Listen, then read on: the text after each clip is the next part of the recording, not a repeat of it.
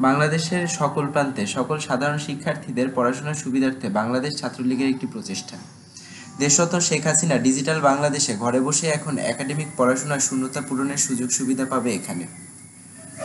আমরা আশা করি এই টিউটোরিয়ালগুলো একজন শিক্ষার্থীর লিখিত ও বহু নির্বাচনী প্রশ্নের দুর্বলতা কাটানোর পাশাপাশি তাকে বিশ্ববিদ্যালয়ে ভর্তি পরীক্ষার জন্য প্রস্তুত করে তুলবে।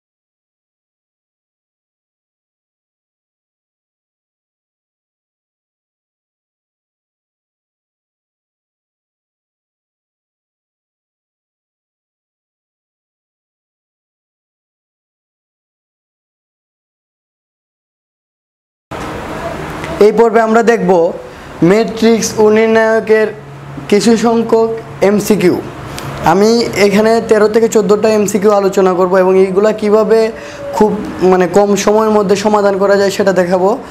মানে এখানে মূলত যেগুলা করতে আমাদের বেশি সময় লাগে বা যেগুলো বেশি কনফিউজিং ওইগুলো আমি আলোচনা করার চেষ্টা করছি। একটা চ্যাপ্টারে সবগুলো এমসিকিউ যদি আমি সলভ করতে যাই, একশো থেকে দেড়শো এমসিকিউ হবে এবং এগুলো আসলে আশা করি সবগুলো করাও লাগবে না বা তোমাদের দরকারও নেই, ঠিক আছে? তাহলে আমি শুরু করি। ধরো আমার এক নাম্বার এমসিকিউটা দেখো, আমাকে দুইটা ম্যাট্রিক্স দেয়া আছে এবং তাদের গুণফল চাইছে। দেখো, এ এবং বি দেয়া আছে, আমাকে বি এর ম্যাট্রিক্সটা নির্ণয় করতে বলছে। অনেক সময় অনেকে আবেগের ঠেলায় বলল বা অন্য কোনো কারণে এ বি নির্ণয় করে ফেলে, ঠিক আছে? এর জন্য অপশনগুলোতে এ বি এর অ্যান্সারটাও দেওয়া থাকে। ঠিক আছে? আচ্ছা আমরা যদি অপশনগুলোতে তাকাই, আমরা, আমাদেরকে অবশ্যই অপশনগুলোর দিকে তাকাতে হবে এই কারণে যে মানে অপশনগুলো দেখলে অনেক সময় অ্যান্সারটা বোঝা যায়, ঠিক আছে? এখানে দেখো, অপশনগুলো কি? একটু চারটা দেখো। চারটার মধ্যে দুইটা হলো থ্রি বাই থ্রি অর্ডারের আর দুইটা হলো টু বাই টু অর্ডারের কিন্তু আমরা তো ম্যাট্রিক্সের গুণফলে আগেই উত্তরের অর্ডারটা জানি, ঠিক আছে? কী অ্যান্সার হবে এটা জানি। তাহলে আমি অর্ডারটা নিয়ে অ্যাটলিস্ট কনফিউজ হওয়ার কারণ নাই। আমি প্রথমে দেখি আমার ম্যাট্রিক্সের অর্ডারটা কী হবে, ঠিক আছে? বি এ ঠিক আছে? বি এর অর্ডার কত? বি এর অর্ডার হলো থ্রি বাই টু এ এর অর্ডার কত? টু বাই এ থ্রি ঠিক আছে? দেখো বি এর অর্ডার হলো থ্রি বাই টু আর এর অর্ডার হলো টু বাই থ্রি ঠিক আছে? তাহলে এই দুইটা সেম আমি গুণ করতে পারব এবং আমার গুণফলটা হবে থ্রি বাই থ্রি তাহলে আমি শিওর হয়ে গেলাম যে আমার গুণফলটা হচ্ছে থ্রি বাই থ্রি ম্যাট্রিক্স আর আমি যদি এ বি ম্যাট্রিক্স নির্ণয় করতাম, বলতাম, তাহলে এটার অ্যান্সার আসতো টু বাই টু ম্যাট্রিক্স ঠিক আছে? এই তাহলে আমি প্রথমে বুঝতেছি যে এই দুইটা আমার অ্যান্সার হবে না। ঠিক আছে? এটা আমি বাদ দিতে পারি অ্যাটলিস্ট এতটুকু কনফার্ম আমি এই দুইটার একটা হবে না। আচ্ছা আমি দেখো এখন শিওর এ এবং বি এর মধ্যে হবে। এখন এ আর বি এর কোনটা হবে অ্যান্সার আমি কি গুণফলটা বের করে নিয়ে আসব? আচ্ছা দেখো, গুণফলটা বের করতে কিন্তু আমরা সবাই জানি এই ম্যাট্রিক্সের গুণফল বের করতে অনেক সময় লাগে। তুমি যদি খুব বেশি মানে নিজেকে ভালো স্টুডেন্ট মনে করো, তুমি কি করবা? চোখ বন্ধ করে মানে কি শুরু করবা? অঙ্ক করা শুরু করবা। কিন্তু তোমার টেকনিক বলে দে যে তোমার অঙ্কটাও এত ফুফু- মানে একদম সম্পূর্ণ অঙ্কটা তোমার করা লাগবে না। কারণ, এখানে দেখো, দুইটা ম্যাট্রিক্সই সেম প্রায় সেম এখন পার্থক্য কি? দেখো, আটের জায়গায় আট আছে, দশের জায়গায় দশ আছে, এবং এইখানে আছে ষোলো এইখানে আছে বারো। আচ্ছা তার মানে আমি এই ইলমেন্টটা বের করতে পারলেই বুঝতে পারব আমার কোনটা অ্যান্সার রাইট তার মানে আমি ওয়ান থ্রি ইলমেন্টটা বের করতে পারলে আমি বুঝতে পারব আমার অ্যান্সার কোনটা। তাহলে আমি দেখি মার্ক করি। আমি কিন্তু বি আর এ গুণ করব, ঠিক আছে? তাহলে বি এরগুলো আমি সারি, এইভাবে নিব বি এর সারি নিব, আর এ এর কলাম নিব, এক নাম্বার কলাম, ঠিক আছে? বি এর তিন নাম্বার শাড়ি, ও না সরি আমার তো এই ওয়ান থ্রি এলিমেন্টটা বের করতে হবে। তাহলে বি এর এক নম্বর শাড়ি এবং এর তিন নাম্বার কলামটা নিব, ঠিক আছে? তাহলে ওয়ান থ্রি এলিমেন্টটা পাবো ওয়ান থ্রি এলিমেন্ট ঠিক আছে? ওয়ান থ্রি এলিমেন্ট মানে প্রথম ম্যাট্রিক্সের এক নম্বর সারি দ্বিতীয় ম্যাট্রিক্সের তিন নম্বর কলাম নিয়ে আমি যেটা পাই, ঠিক আছে? তাহলে এই কলামটাকে সেটার পাশে দাঁড়া করাই দিবা, বা দিলে বা zero into three two into six মানে বারো, ঠিক আছে? তাহলে আমি বারো পেয়ে গেলাম, তার মানে আমার অ্যান্সার হলো বি, আমার পুরো অঙ্ক করা লাগতেছে না। ঠিক আছে? আশা করি বুঝতে পারছ? ঠিক আছে? তারপরে যদি আমরা দুই নাম্বার ম্যাট্রিক্সটাতে যাই, দেখো এই ম্যাট্রিক্সটা আমাকে দিয়ে বলছে যে ম্যাট্রিক্সটি কি? একটা বহুপদী এমসিকিউ ঠিক আছে? এখানে দেখো প্রথমে বলছে এটা কি বর্গ এটা একটা বর্গ ম্যাট্রিক্স এটা কিন্তু সত্য। কারণ এই ম্যাট্রিক্সটা একটা বর্গ ম্যাট্রিক্স কারণ এটার অর্ডার সেম এটা একটা কর্ণ ম্যাট্রিক্স হ্যাঁ এটাও সত্য, কারণ এটার কর্ণ বরাবর, মুখ্য কর্ণ বরাবর এলিমেন্ট বাদে অন্যান্য এলিমেন্টগুলো শূন্য। ঠিক আছে? তাহলে কর্ণ ম্যাট্রিক্সও বলতে পারি, এবং একই সাথে এটা স্কেলার ম্যাট্রিক্সও কারণ এটার প্রত্যেকটা এলিমেন্টই সেম কিন্তু আমাকে যদি অপশনটা এইভাবে দিত আচ্ছা এখানে অ্যান্সারটা হলো ডি আচ্ছা আমার অপশনটা যদি এইভাবে দিত, ধরো এইটা আমাকে এ দিল, এটা হলো বি এটা হলো সি আরেকটা ধরো দিয়ে দিল ডি এটা অবৈধক ম্যাট্রিক্স অবেদক ম্যাট্রিক্স তাহলে আমার অ্যান্সার কোনটা দিতাম? এটা ধরো বহুপদী না মানে এই অপশনগুলো আমার নাই। ধরো এইগুলো আমি মুছে দিলাম, ঠিক আছে? এগুলো আমার নাই। সেই ক্ষেত্রে আমার কোনটা অ্যান্সার হতো এখানে কিন্তু তখন এটাও সত্য, এটা আর একটু বেশি সত্য, এটা আরও বেশি সত্য। সেই ক্ষেত্রে কিন্তু আমার এক্স্যাক্টলি বলতে গেলে আমার এই ম্যাট্রিক্সটাই অ্যান্সার দিতে হইতো, কারণ এইটার ভিতরেই একই সাথে লুকায় আছে, এটা একটা কর্ণ ম্যাট্রিক্স এটার ভিতরে লুকিয়ে আছে, এটা একটা বর্গ ম্যাট্রিক্স ঠিক আছে? তখন আমাকে এইটাই অ্যান্সার দিতে হইতো, এটা দিলেও ভুল হইতো, এটা দিলে তো আরও বেশি ভুল হইতো, আর এটা তো একদম এই মানে কিসের বাইরে, সীমার বাইরে, ঠিক আছে? তারপর যদি আমরা দেখি, তিন নম্বর প্রবলেমটা এটা বলছে এই ম্যাট্রিক্সটা যদি বি প্রতিসম ম্যাট্রিক্স হয় বি প্রতিসম, ঠিক আছে? তাহলে এ বি সি এর মানটা কি হবে? ঠিক আছে? এখন বি প্রতিসম ম্যাট্রিক্স তোমাদের মনে আছে কিনা জানি না, আমি আবার মনে করে দেই। ঠিক আছে? বি প্রতিসম ম্যাট্রিক্স হলো একটা ম্যাট্রিক্সকে ম্যাট্রিক্সের ট্রান্সপোজের মানটাকে যদি আমি মাইনাস দিয়ে গুণ করি, তাহলে এটা যদি দেখতে ওই ম্যাট্রিক্সটার মতোই হয়, তখন তাকে বি বি প্রতিসম ম্যাট্রিক্স বলে, ঠিক আছে? মানে এটাকে ট্রান্সপোজ করলেই সেম হবে না। ট্রান্সপোজ করলে যদি সেম হতো এটাকে আমরা বলতাম প্রতিসম ম্যাট্রিক্স কিন্তু ট্রান্সপোজ করার পর যে মাইনাস দিয়ে গুণ করলে তখন সেম হয়, তখন আমরা তাকে বলব হলো বি প্রতিসম ম্যাট্রিক্স এবং এটা একমাত্র হইতে পারে তখনই যখন ওই ম্যাট্রিক্সের মুখ্য কর্ণ বরাবর এলিমেন্টগুলা জিরো জিরো হয়। মুখ্যকর্ণ বরাবর এলিমেন্টগুলো জিরো জিরো ছাড়া কখনোই তুমি একটা ম্যাট্রিক্সকে বি প্রতিসম ম্যাট্রিক্স হিসেবে পাবা না। ঠিক আছে, তোমরা দেখতে পারো যে এই শর্তটা মানে এমন কোনো ম্যাট্রিক্স নাই যে যার এই মধ্য, এই মুখ্যকর্ণ বরাবর এলিমেন্টগুলো শূন্য না, ঠিক আছে? আমি তাহলে এখানে এটা প্রথমে অ্যান্সার দিয়ে ফেলতে পারব যে এও জিরো বিও জিরো সিও জিরো তার মানে আমার অ্যান্সার হলো এইটা। দেখো, এখানে আমি এখানে অপশন দিছি তিনটাই ওয়ান যারা বুঝো না বা যারা পারো না, তারা মনে করো তিনটা হয়তো সেম হবে। বা যারা ভাবতে পারো যে এই যে মানে এরকম অনেকগুলোই ভাবতে পারো সবগুলো আমি দিয়ে রাখছি অপশনে এবং তোমার যেগুলা মানে কনফিউশন সৃষ্টি করে এই সব অ্যান্সারগুলো অপশনে থাকে। ঠিক আছে? আচ্ছা তারপর আমি যদি চার নাম্বার প্রবলেমটা দেখি, বলছে হলো এই ম্যাট্রিক্সের অ্যাডজয়েন্ট ম্যাট্রিক্স এখানে আমি দুইটা জিনিস একই সাথে পড়াই ফেলি শর্টকাট কীভাবে করতে হয়। ধরো তোমাকে একটা ম্যাট্রিক্স এইভাবে দেওয়া আছে এ বি সি ডি এটার এর জয়েন্টটা হবে, এই যে এটার এর জয়েন্ট ম্যাট্রিক্সটা হবে এরকম। কি হবে? এই যে, তোমার হলো এখানে এ আর ডিটা হলো এক্সচেঞ্জ হবে, ঠিক আছে? এক্সচেঞ্জ হবে, আর এইগুলো হলো যেমন আছে তেমনই থাকবে যার সামনে একটা মাইনাস দিয়ে দিতে হবে, ঠিক আছে? তাহলে আমি দেখো এক্সচেঞ্জ করলে কি পাবো? ডি এ আর এখানে পাবো মাইনাস বি মাইনাস সি ঠিক আছে? এগুলোর সামনে জাস্ট মাইনাস দিয়ে দিলেই হয়ে যাবে। তাহলে আমি এর জয়েন্ট ম্যাট্রিক্স বের করার খুব শর্টকাট একটা টেকনিক পেলাম ঠিক আছে? এই যে, তাহলে আমি এখানে কি করব? দেখো থ্রি এবং মাইনাস ফোর এক্সচেঞ্জ মানে এখানে থ্রি চলে আসবে, এখানে মাইনাস ফোর এখানে অপশন কোনটা আছে? এই যে যে মাইনাস ফোর আর থ্রি চলে আসলো, ঠিক আছে? এইখানে। আর আর কোনো অপশনে নাই। তার মানে আমি ওইটা দেখারও দরকার নাই, বাকিটা এটা অ্যান্সার দিয়ে দিতে পারি। কারণ দেখো, এখানে মাইনাস ফোরটা এখানে নিয়ে গেলে আর থ্রিটা এখানে নিয়ে আসলে আর কোনো অপশন এরকম নাই। তারপরে যদি আর কোনো অপশনে থাকতো, তারপরে আমি কি করতাম? দেখতাম যে সেভেন এর আগে মাইনাস আছে কিনা আছে টু এর আগে মাইনাস আছে কিনা আছে, ঠিক আছে? তাহলে একটা ম্যাট্রিক্সের একজন ম্যাট্রিক্স কীভাবে খুব সহজে বের করতে পারবা? শর্টকাটে আমরা দেখলাম।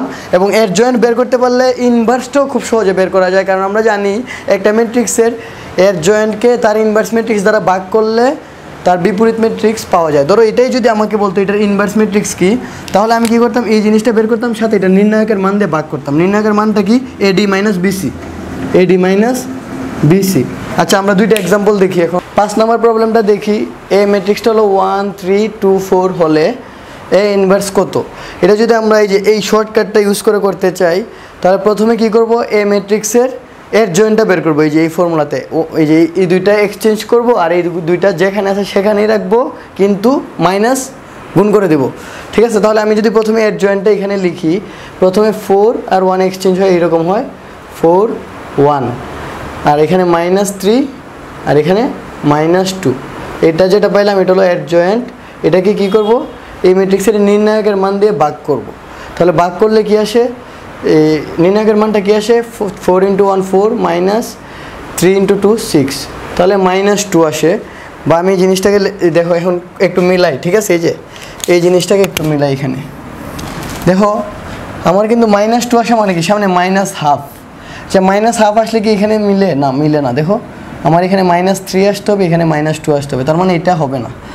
আচ্ছা আমি যদি হাফ নেই ঠিক আছে? হাফ হাফ নিলেও দেখো।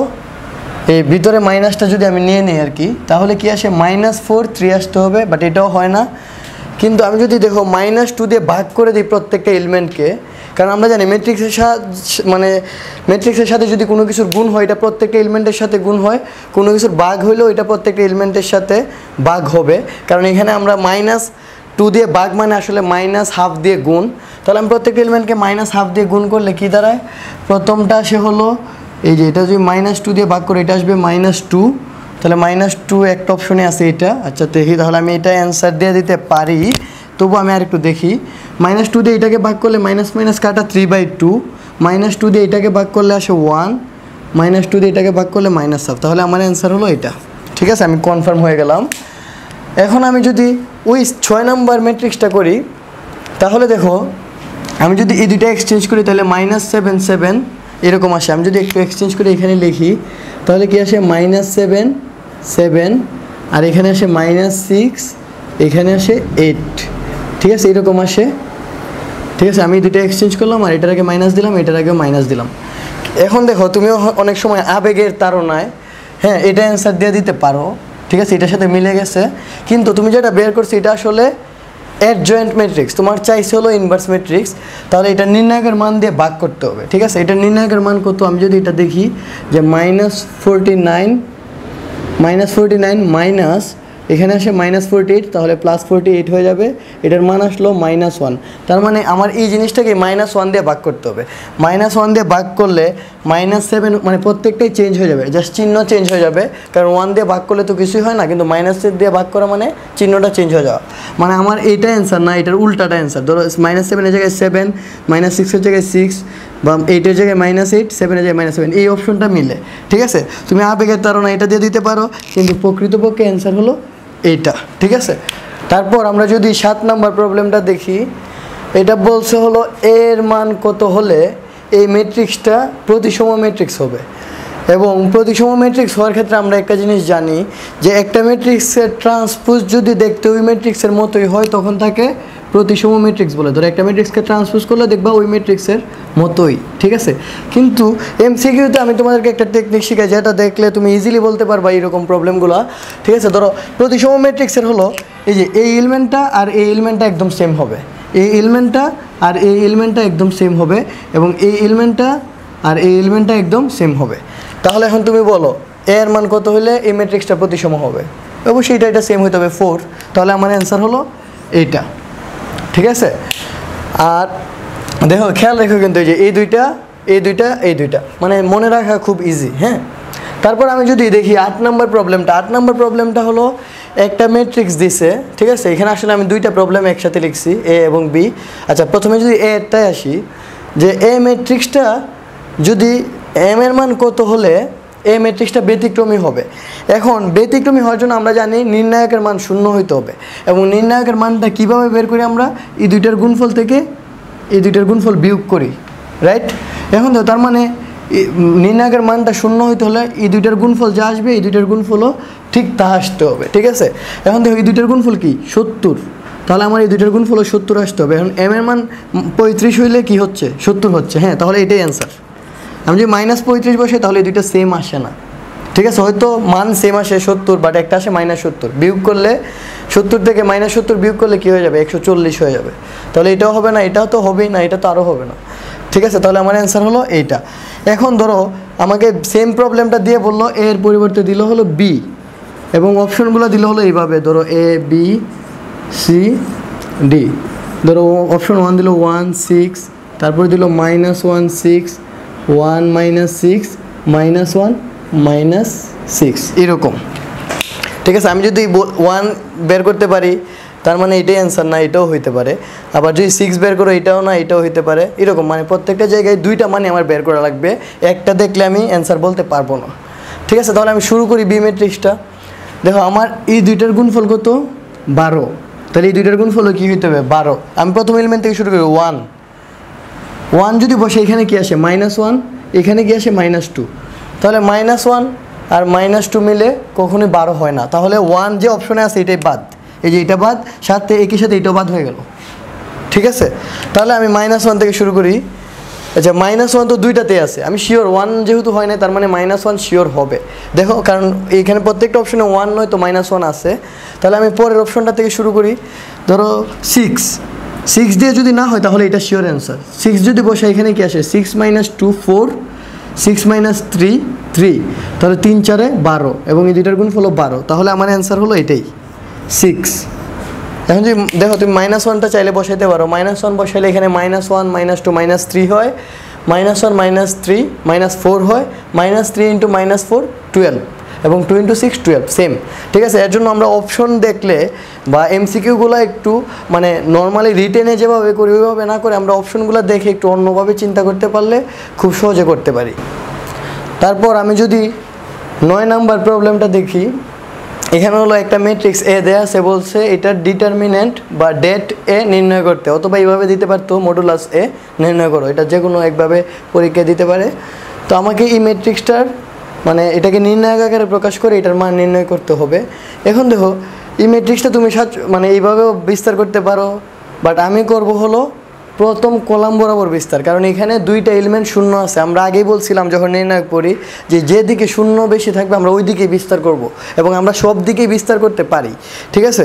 তাহলে এই আমি যদি প্রথম কলাম বরাবর বিস্তার করি আমরা আমরা কিন্তু জানি যে এটা প্লাস পজিশন এটা মাইনাস এটা প্লাস কারণ এই এই যে ক্রসের মধ্যে যেগুলো পড়ে এগুলো হলো প্লাস পজিশন বাকিগুলো মাইনাস পজিশন ঠিক আছে? তাহলে আমি যদি এটা করি, তাহলে আমি কি দেখব? প্রথম কলাম বরাবর বিস্তার করলে আমার জাস্ট ফাইভ এলিমেন্টটা নিয়ে কাজ করলেই হবে, এই দুইটা নিয়ে করাই লাগবে না, কারণ এদের তো এমনি জিরো তাহলে ফাইভ হলো প্লাস পজিশনে এবং এটা আমরা প্লাসের ফাইভ দিলাম। এখন কি করব? এই সাথে এই কলাম বাদ, পাঁচ তিনে বাইটা এটা লেখার দরকার নাই। দেখো, পাঁচ তিনে পনেরো মাইনাস দুই সাতা চোদ্দ। তাহলে পনেরো মাইনাস চোদ্দ one five into one five তাহলে আমার অ্যান্সার হলো এই যে সি নাম্বার তাহলে আমরা এটা খুব সহজেই ডিটারমিনেন্ট অফ এ নির্ণয় করতে পারি। তারপরে প্রবলেমটা যদি দেখি দশ নাম্বার আমাকে বলছে এইটাই কলটা যদি জিরো হয়, তাহলে পি এর মান কত? বা পরীক্ষা এমনভাবে দিতে পারে যে এটা যদি একটা ব্যতিক্রমী ম্যাট্রিক্স হয়, ঠিক আছে? তাহলে পি এর মান কত? মানে আমরা কি জানি, ব্যতিক্রমী ম্যাট্রিক্স হইলে কি এটার মান নির্ণায়কের মান শূন্য হবে। ধরো এখানে থার্ড ব্রেকেট দিয়ে বলতো এই ম্যাট্রিক্সটা যদি একটা ব্যতিক্রমী ম্যাট্রিক্স হয়, তাহলে পি এর মান কত? অথবা বলতে পারি, এই ম্যাট্রিক্সটা এই ম্যাট্রিক্সটার নির্ণায়কের মান যদি শূন্য হয়, তাহলে পি এর মান কত? আমি এভাবে লিখলাম যে এটা ইকুয়াল টু জিরো হলে পি এর মান কত? তুমি একটা কাজ করতে পারো, এটা সমাধান করতে পারো ইকুয়াল করে করে শেষে দেখতে পি এর একটা মান আসে। কিন্তু এমসিকিউতে মনে রাখবা বেশিরভাগ ক্ষেত্রেই এমন প্রবলেম দেয় যেটা আসলে খুব সহজেই করা যায়।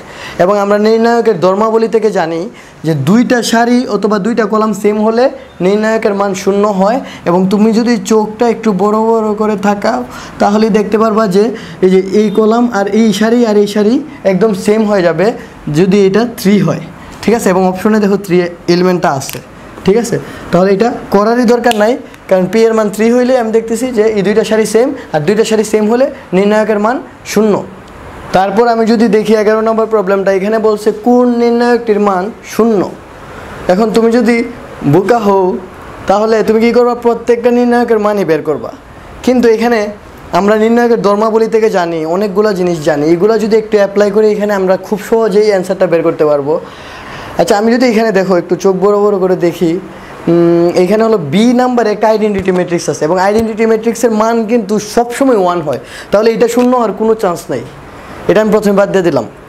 ঠিক আছে? আচ্ছা। তারপর আমি যদি সবগুলোতে তাকাই মানে কোনো, এটাতে যদি দেখো one zero two two zero one one three zero এই জিরোটা যদি এইখানে থাকতো তাহলে এটার মানে জিরো হইতো। কিন্তু এটা তো এখানে নাই। আচ্ছা। এইখানেও দেখো জিরো জিরো দুইটা আছে, আরেকটা থাকলেই তো হইতো। আর এখানে এটা হলো সিক্স আচ্ছা এটা আমি একটু ক্লিয়ার করে লিখে দিই। এটা হলো সিক্স আর এটা হলো জিরো এটাও জিরো এটাও যদি সিক্সটা যদি সিক্স না হয়ে জিরো হইতো, তাহলে এটাও অ্যান্সার হইতো। আর এখানে অবশ্য জিরো মাত্র একটা, কিন্তু এইখানে আমি অন্যরকম একটা জিনিসের স্মেল পাই, ঠিক আছে? এটা হলো দেখো, তুমি এই কলাম থেকে যদি টু কমন নাও, দেখো, এখানে কি আছে? ফোর টু ওয়ান এটাও প্রায় এইট ফোর টু মানে এটাও দেখো, অর্ধেক অর্ধেক হচ্ছে। ফোর টু হচ্ছে টু ওয়ান হচ্ছে, এখানেও এইট ফোর হচ্ছে, এটা টু হচ্ছে। তার মানে এখানে কোনো একটা সৌন্দর্য একটা যে আছে, ঠিক আছে? আমি যদি এখান থেকে টু কমন নেই, দেখো, একটা কলাম থেকে কিন্তু আমরা টু কমন নিতে পারি। এখান থেকে যদি আমি টু কমন নেওয়া যাই টুটা বাইরে নেওয়া যায় তাহলে এটা কি হয়ে যাবে? ফোর এটা হয়ে যাবে টু টু হয়ে যাবে ওয়ান এবং এই দুইটা কলাম হয়ে যাবে একদম সেম আর দুইটা কলাম সেম হলে এটার মান আসে শূন্য। তাহলে এখানে কি আসে টু ইন্টু শূন্য মানে শূন্য। তাহলে আমার অ্যান্সার কোনটা? সি ঠিক আছে? আমি যদি বারো নম্বর প্রবলেমটা দেখি, এখানে হলো দুইটা সমীকরণ, দুইটা আননোন ঠিক আছে? এবং আননোন দুইটাই তোমাকে বের করতে বলছে। এখন দুইটা আননোন দুইটা ইকুয়েশন আমি অনেকভাবেই সলভ করতে পারি। আমরা দেখছিলাম এর আগে যে পাঁচটা পদ্ধতিতে আমরা সলভ করতে পারি খুব সহজেই। এখানে অনেক সময় তোমার প্রশ্নে বলে দিতে পারে যে এটা ক্রেমারের নিয়মে সলভ করো। রিটেনে যদি এটা বলে, তাহলে আমার আর কোনো উপায় নাই। কিন্তু এমসিকিউতে এটা বললে এটাকে আমি মানতে বাধ্য নো কারণ আমার উত্তর দুইটা বের করলে হয়েছে। এটা আমি কীভাবে করছি, এটা তো আর স্যার দেখতেছে না। ঠিক আছে? তাহলে আমি যদি এখন এই প্রবলেমটা সলভ করি, এটার জন্য আমি ওই পাঁচটার একটাও এই অ্যাপ্লাই করব না। আমি যে কাজটা করব, আমি অপশন টেস্ট করব। এবং অপশন টেস্ট করার সময় মানে স্কুল কলেজের পরীক্ষাগুলোতে যেভাবে অপশনগুলো দেওয়া থাকে সেক্ষেত্রে প্রথম থেকেই টেস্ট করাটাই ভালো, কিন্তু ভর্তি পরীক্ষাগুলোতে শেষ থেকে অপশন টেস্ট করাগুলো এটাই ভালো, কারণ স্যাররা সবসময় শেষের দিকে অ্যান্সারটা রাখে। এখানে আমিও এরকম কোনো একটা জায়গায় রাখছি আচ্ছা আমি প্রথম থেকে শুরু করি, ঠিক আছে? ধরো টেন এবং থ্রি এটা যে আমি ইকুয়েশনটাতে বসাই, দেখব টেন মাইনাস থ্রি সেভেন হয়ে গেছে, কিন্তু এটাতে যদি বসাও, দেখবা কি? দশ দুগুণা বিশ আর এখানে তিন তিনে নয়। তাহলে উনত্রিশ হয়। তাহলে এটাকে সিদ্ধ করলেও এটাকে করে না। তাহলে এটা হবে না। কারণ আমার অ্যান্সার এমন এমন কিছুই হইতে হবে যেটা দুইটা ইকুয়েশনকেই সিদ্ধ করবে। ঠিক আছে? তারপর আমি যদি এটা বসাই, প্রথমটাতে হাফ ইন্টু টু তাহলে এখানে আসে ওয়ান থ্রি ইন্টু ওয়ান মানে ওয়ান ফোর এটা সিদ্ধ করে এটাতে যদি বসাই হাফ মাইনাস ওয়ান তাহলে কিন্তু সিদ্ধ করে না। ঠিক আছে? তাহলে এটাও বাদ। তারপর আমি যদি সি নাম্বারটা দেখি মাইনাস ওয়ান টু এখানে যে মাইনাস ওয়ান বসাও, তাহলে এটা আসবে মাইনাস টু টু বসাইলে আসবে প্লাসের সিক্স ইকুয়াল টু ফোর আসে। এটা সিদ্ধ করে, এখন এটাতে যদি বসাই minus one minus two minus three এটা সিদ্ধ করে না, তাহলে এটাও হবে না। আমি যদি ফাইভ এবং মাইনাস টু বসাই, দেখো ফাইভ যদি বসাই পাঁচ দুগুণা দশ, পাঁচ দুগুণা দশ, আর মাইনাস টু বসালে মাইনাস সিক্স তাহলে ফোর আসে, এটা সিদ্ধ করে। আর যখন আমি দেখব এই তিনটা হয় না, তখন কিন্তু এমনিতেই এটা অ্যান্সার তারপর আমি দেখি যে এই তিনটাতে যদি কোনো একটাতে ভুল করে থাকি, তাহলে তো আমি হুদাই এটা অ্যান্সার দিয়ে দেবো, ঠিক না? এটা তো দেওয়া যাবে না। তাহলে আমি এখানে দেখলাম এটা ফোর আসে, তারপরে এটা যদি সেকেন্ড ইকুয়েশনে বসাই ফাইভ মাইনাস মাইনাস টু মানে প্লাস টু সেভেন এবং এটা সেভেন হয়, ঠিক আছে? তাহলে আমার ডি নাম্বার অপশনটা দুইটা ইকুয়েশনকে সিদ্ধ করে, তাহলে আমি বলতে পারি যে ডি নাম্বারের হলো আমার অ্যান্সার এটা আমার করার কোনো দরকার নাই। এই পর্বে আমরা অনেকগুলো এমসিকিউ দেখছি এবং যেগুলো খুব সহজে করা যায়, এগুলো আমরা দেখলাম। আরও অনেকগুলো এমসিকিউ আছে, এগুলো তোমরা আরও বেশি প্র্যাকটিস করবা। যত বেশি প্র্যাকটিস করবা, তত বেশি দক্ষতা আসবে। আজকে এই পর্যন্তই। ধন্যবাদ সবাইকে।